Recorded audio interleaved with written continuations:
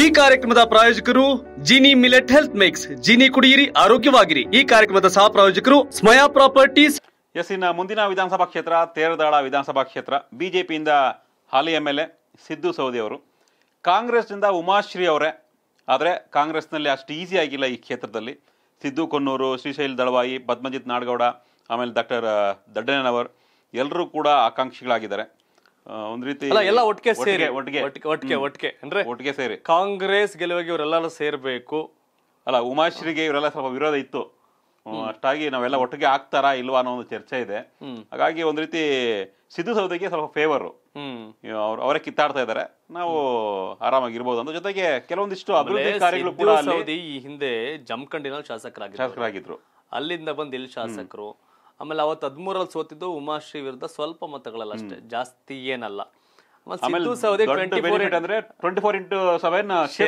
ಜನಗಳಿಗೆ ಅಂತ. ಸುಲಭವಾಗಿ ಸಿಗ್ತಾರೆ. ಕ್ಷೇತ್ರದಲ್ಲೇ ಇರ್ತಾರೆ. ಉಮಾಶ್ರೀ ಕ್ಷೇತ್ರಕ್ಕೆ ಬಂದಾಗ ಮಾತ್ರ ಸಿಗ್ತಾರೆ. ಬೆಂಗಳೂರಿಗೆ ಬರಬೇಕು. ಜನಗಳಿಗೆ ಬೇಕು ಅಂದಾಗ ಸಿಗಲ್ಲ ಅನ್ನೋ ಆರೋಪಗಳು ಇವೆಲ್ಲವೂ ಇದೆ. ಉಮಾಶ್ರೀ ಸ್ಥಳೀಯರಲ್ಲ.